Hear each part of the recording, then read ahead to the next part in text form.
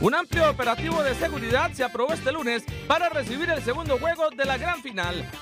Las puertas del estadio Alejandro Morera Soto se abrirán a las 4 de la tarde y habrá más de 500 oficiales entre fuerza pública y privada. Que las puertas se abran desde las 4 de la tarde y no como, la, como fue la vez pasada que se abrieron a las 5 y esto le va a permitir a la gente pues entrar con más calma, ¿verdad? Porque hay una respectiva revisión, va a estar Fuerza Pública requisando pues obviamente a la gente que, que no, no ingrese con objetos no permitidos.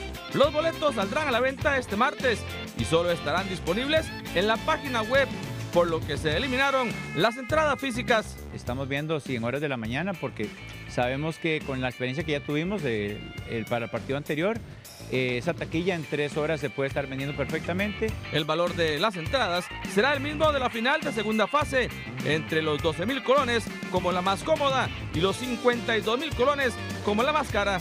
Si las aficionado que, que compre las entradas únicas exclusivamente en el sitio oficial para que no se vea envuelto en una estafa como la que le pasó a, a una serie de eh, aficionados que recibimos acá el día sábado pasado. Los manudos esperan 18 mil personas en el estadio y casi 200 millones de colones en taquilla.